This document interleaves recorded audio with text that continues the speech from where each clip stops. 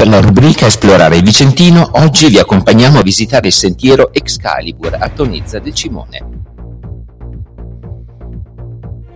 Il sentiero Excalibur è un breve ma affascinante percorso ad anello nei pressi di Tonezza del Cimone, lungo il quale si possono apprezzare alcuni degli scorci più belli del piccolo altopiano.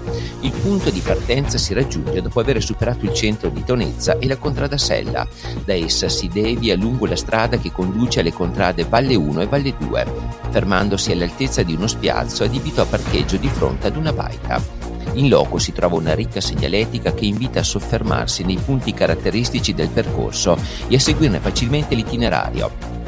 Si inizia con uno dei tratti più suggestivi, una conca prativa che viene attraversata dal sentiero, con quest'ultimo delimitato dalle aste di pietra calcarea. Il panorama è circoscritto dalle cime del Monte Spizza, dei monti Melignone, Campo Molon e Toraro, si giunge ad una pozza d'acqua dove si specchiano il baito delle coste e un grande faggio. Qui d'autunno le foglie del faggio cadono nell'acqua coprendo come un velo lo specchio d'acqua. Il quadro che s'ammira ha un che di romantico, dove l'opera dell'uomo ben si sposa con gli elementi naturali presenti.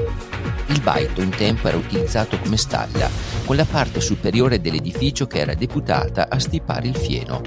Poco lontano, a fianco del sentiero, sempre delimitato dalle lasti in pietra, si sfiora un piccolo boschetto di larici.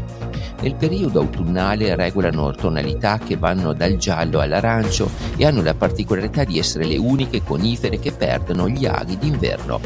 In passato il lariceto era sfruttato come bosco pascolato, data la bassa densità delle piante e la possibilità di offrire riparo alle bestie.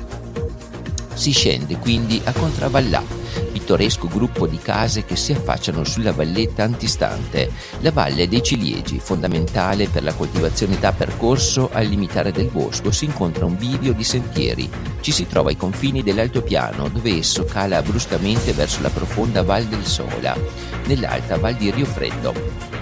Ardite pareti rocciose sono in parte percorse da vie di arrampicata, mentre all'interno del bosco misto di faggi ed abeti rossi ci, si celano opere risalenti alla Grande Guerra, come diverse trincee, mulettieri e perfino un fortino. Seguendo la segnaletica si incontra Excalibur, la spada della roccia, che dà il nome al percorso. Una scultura in legno di un cavaliere si erge nei pressi di essa all'interno del bosco. Da qui si diparte per un bel tratto di sentiero del quale si osservano alcuni terrazzamenti, mentre si ritorna verso il punto di partenza con un tratto di leggera salita. Il percorso del sentiero Excalibur è adatto a tutti, in quanto ha uno sviluppo breve appena 2,5 km e facili sali e scendi. La ricchezza dei punti di interesse e le numerose viste panoramiche ne fanno un itinerario da percorrere assolutamente se si passa per Tonezza del Cimone, soprattutto nel periodo autunnale per ammirare il foliage panoramiche ne fanno un itinerario da percorrere assolutamente se si passa per Tonezza del Cimone, soprattutto nel periodo autunnale, per ammirare il foliage.